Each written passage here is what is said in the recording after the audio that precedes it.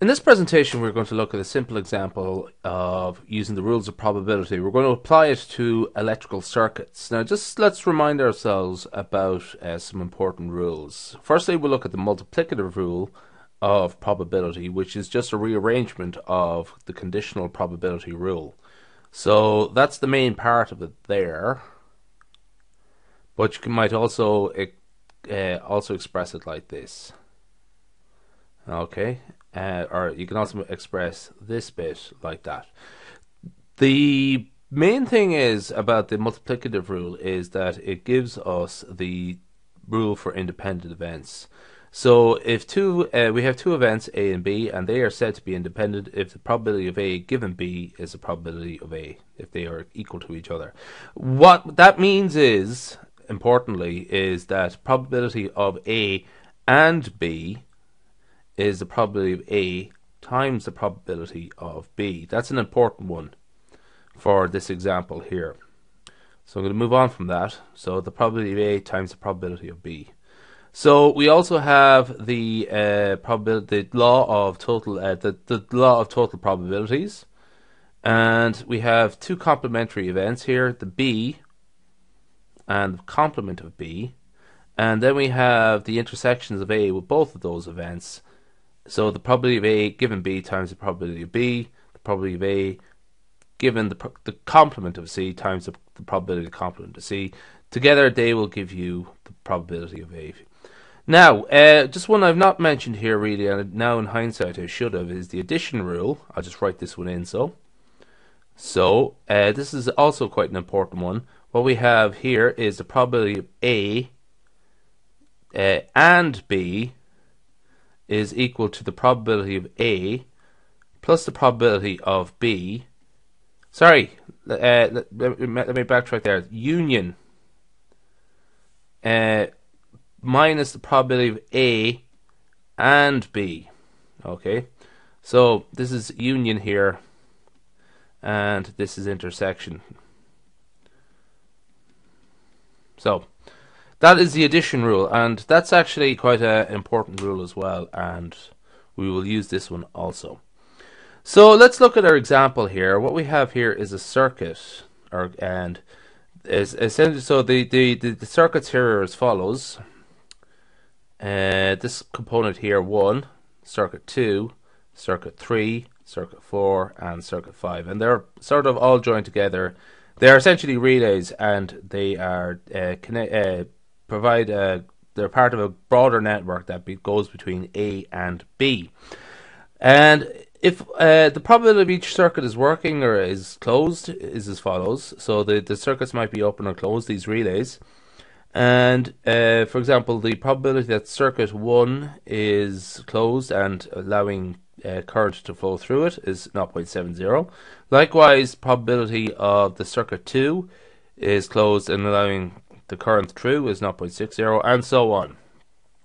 Now, let's just look at this. If all the relay circuits function independently, what is the probability that a current flows between A and B? Let's consider this here for a second. So the current must flow either through A or from A up through circuits 1 and 2 and then through circuit 5 till it gets to B.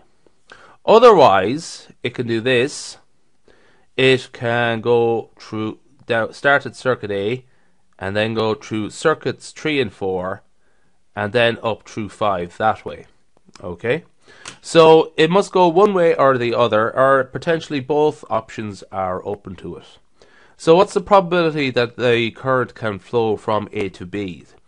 So let's consider this here. So first off, let's consider we're going to um, have two branches. I'm going to call the upper branch B1 and it comprises of circuit 1 and circuit 2 and we're going to have the lower branch B2 this and it consists of C3 and C4 circuits 3 and 4 and we'll disregard C5 until later on. We'll just make sure, figure out uh, the probability of getting to this point here just before circuit 5 so the upper branch uh, B1 we're going up this way first.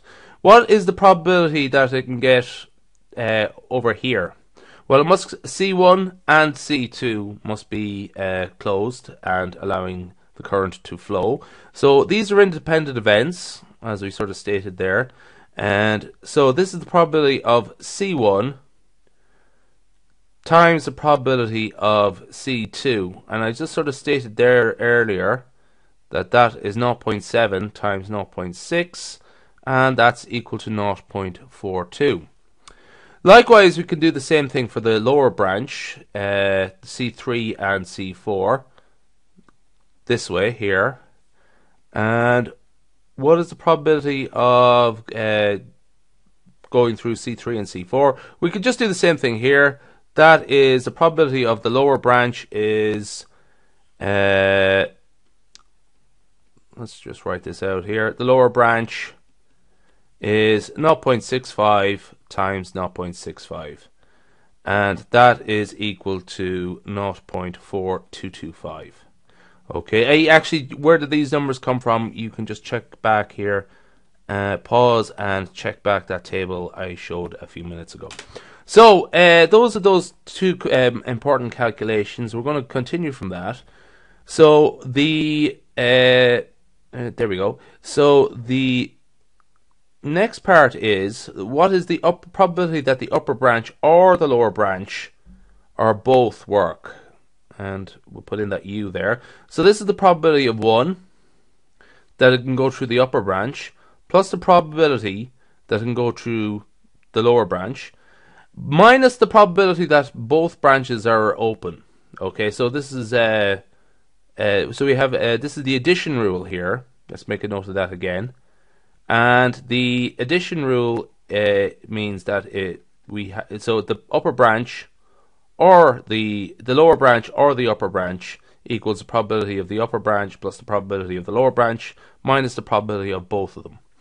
So that is equal to 0.42 plus 0.4225. What about this part here? Well, if you, you just think about it again, these are independent events.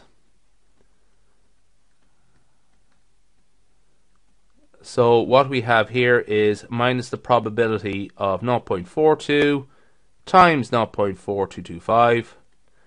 Let's work it out a little bit more. 0.42 plus 0.4225 minus doing a bit of calculator that worked there 0.17745 I'll just leave it the full thing. We can round it at the end. And that would give us an answer of 0.66505 okay so that's the answer for this part here. Now this is just before it gets to circuit 2. Now I'm just going to go back here a second now. There we go. So we the probability of it being able to get here is not 0.66505. Now the probability of this part here, C5. Now this is not 0.97 if you just recall that table we had at the start. So the probability of getting from this point here, this point x here to b, it means that it's uh, 0.97 from getting x to b because circuit 5 is closed.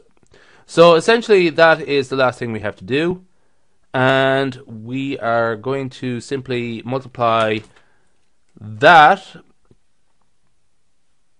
0.97 by 0.66505 and the answer is therefore 0.645.